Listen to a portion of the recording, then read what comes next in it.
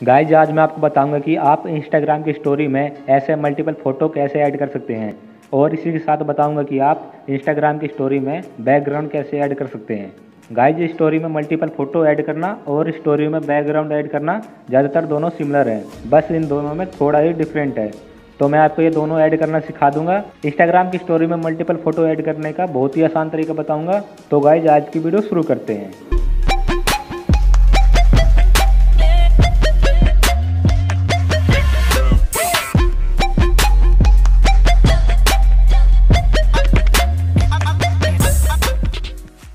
Guys सबसे पहले मैं स्टोरी में मल्टीपल फ़ोटो ऐड करने का तरीका बताऊँगा। तो स्टोरी में मल्टीपल फ़ोटो ऐड करने के लिए एक ऐप की ज़रूरत पड़ेगी। तो ऐप को डाउनलोड करने के लिए प्ले स्टोर ओपन कर लें, फिर सर्च करें जी बॉक्स फिर इस ऐप को इंस्टॉल कर लें। फिर ऐप को ओपन करें। अगर आप इस ऐप में साइन इन करना चाहते हो तो कर लें, नहीं तो इस स्किप के ऑप्शन में क्लिक कर दें। फिर आपको यहाँ बहुत सारे फीचर दिखेंगे। ये सारे फीचर इंस्टाग्राम से रिलेटेड है। ये सारे फीचर्स को यूज़ करने के लिए ये ऐप पैसे माँगता है। तो हमें स्टोरी में मल्टीपल फ़ोटो को ऐड करने के लिए इन फीचर की ज़रूरत नहीं है। आप नीचे थोड़ा स्क्रॉल करोगे तो ये जी बॉक्स का कीबोर्ड मिलेगा। हमें सिर्फ़ इसकी ज़रूरत है और ये फ्री है। गाइज़ अगर आपको इस ऐप के बाकी के पेड वाले फीचर को फ्री में यूज़ करना हो तो कमेंट करके बता देना। मैं इस ऐप के मोड वर्जन का लिंक आपको डिस्क्रिप्शन में प्रोवाइड कर दूँगा। तो गाइज़ आप इस जी बॉक्स वाले ऑप्शन में क्लिक करें, फिर नेक्स्ट में क्लिक कर दें, उसके बाद इस जी बॉक्स कीबोर्ड को दो परमिशन देना होगा। तो इस इनेबल इन सेटिंग में क्लिक कर दें, फिर इस जी बॉक्स कीबोर्ड में क्लिक करें, फिर ओके में क्लिक कर दें, फिर बैक चले जाएँ। फिर इस सिलेक्ट इनपुट मेथड में क्लिक कर दें।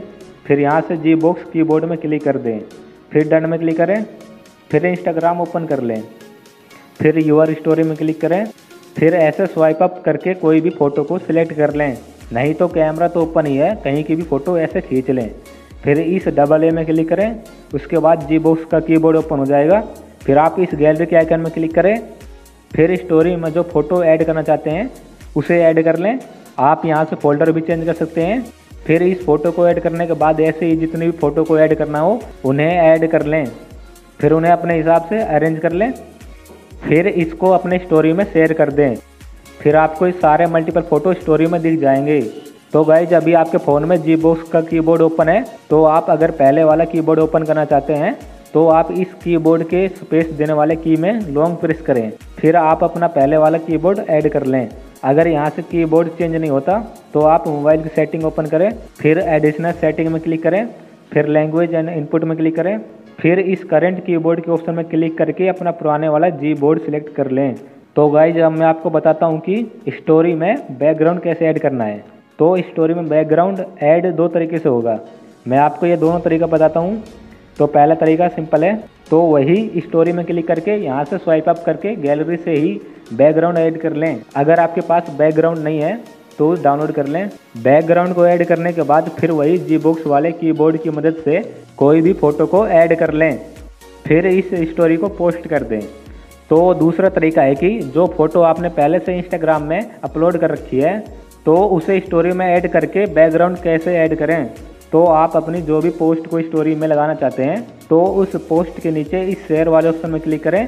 फिर add post to your story में क्लिक कर दें। फिर उस पोस्ट को थोड़ा जूम करके ऐसे राइट कॉर्नर की तरफ़ कर दें। फिर इस डबल ए के ऑप्शन में क्लिक कर दें। फिर वही इस गैलरी के आइकन में क्लिक करके बैकग्राउंड ऐड कर लें। फिर बैकग्राउंड को जूम करके थोड़ा बड़ा कर लें। आपकी वो पोस्ट पीछे की तरफ़ चल जाएगी। फिर आपने जो बैकग्राउंड सिलेक्ट किया है, उसको स्क्रीन के राइट साइड के कॉर्नर को ऐसे ढके कि राइट साइड वाले कॉर्नर की तरफ़ हल्का सा गैप रह जाए।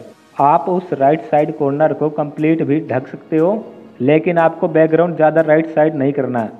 अब जो आपकी पोस्ट पीछे की तरफ़ चली गई थी, उसे आगे की तरफ़ लाना है। तो इसके लिए जब आप इस बैकग्राउंड में टैप करोगे तो ये बैकग्राउंड थोड़ा सा जूम इन होगा।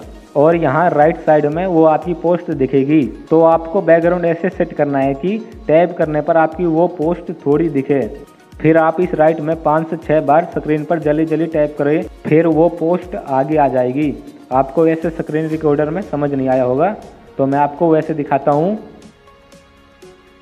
तो आपको ऐसे राइट साइड में जल्दी जल्दी टैप करना है, फिर वो पोस्ट आगे आ जाएगी। फिर इस स्टोरी को अपलोड कर दें। अब इस स्टोरी में बैकग्राउंड ऐड हो चुका है।